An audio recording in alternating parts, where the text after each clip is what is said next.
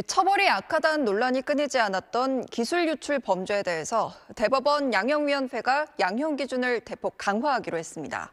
앞으로 국가 핵심 기술을 외국으로 빼돌리면 최대 징역 18년까지 선고할 수 있게 됩니다. 하정현 기자입니다. 지난 2018년 전직 삼성전자 엔지니어 A씨는 반도체 초미세 공정과 관련한 국가 핵심 기술을 유출한 혐의로 기소됐습니다.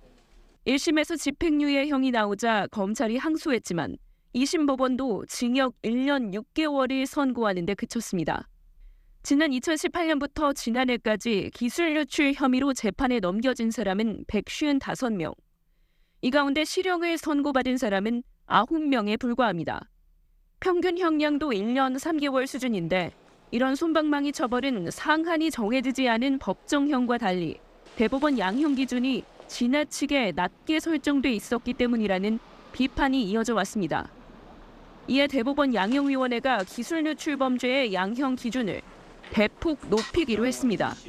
산업 기술을 국내로 유출했을 때 최대 권고 형량을 기존 6년에서 9년으로, 국외로 유출했을 때는 기존 9년에서 15년으로 상향한 겁니다. 특히 국가 핵심 기술을 해외로 빼돌릴 경우 최대 징역 18년까지 선고할 수 있게 했습니다. 기술 유출 범죄는 현재 산업기술보호법 등으로 처벌하고 있는데 아예 형법을 개정해 간첩죄로 처벌하자는 목소리도 있습니다. 미국이나 영국 같은 나라에서는 우방국에 유출을 해도 엄격하게 처벌하는 규정을 두고 있고요. 독일의 경우는 외국에 기밀을 유출하는 경우를 간첩행위의 일종으로 다루고 있습니다. 양형위원회는 이와 함께 흉기를 휴대하는 등 죄질이 나쁜 스토킹 범죄에 대해 최대 징역 5년까지 처벌할 수 있도록 하는 양형 기준도 신설했습니다.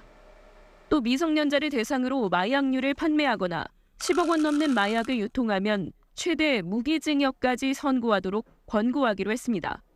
SBS 하정인입니다.